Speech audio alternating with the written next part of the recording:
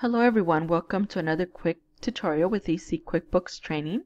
Today I'm going to cover or answer a question from one of our viewers. The question is, how do you record PayPal fees from QuickBooks Online? As we know, PayPal fees are an actual deduct from the sales.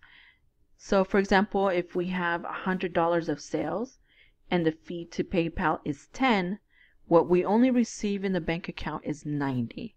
So that's what we're going to go over today. Now I use sales receipts to record all my sales, refunds, and PayPal fees at the same time. And you could do this on a monthly basis, on a weekly basis, or daily basis. You just gather all your totals and you make one single sales receipt. As you can see here, I record them on a monthly basis. I use one receipt for the whole month. So let me show you. Let's click on July. And this is the sales receipt. I have one customer, just PayPal customer. I don't have any details in here because all the details are in PayPal. They have great reports to gather all the details. So I have an item, a product service item called sales of product, discount and refunds, and PayPal fees. Now I have the totals here. As you can see the sale for product, I have the total sales.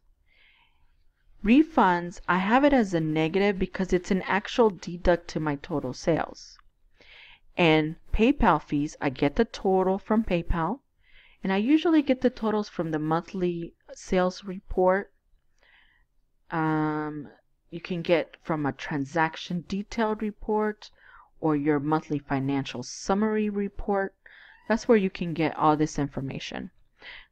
So I put as a negative because it's a de deduct to the total amounts here. And this is what goes into the bank. And I make sure it's deposited into the bank. My payment method is PayPal. I put it in the correct bank and that is what I get into the bank.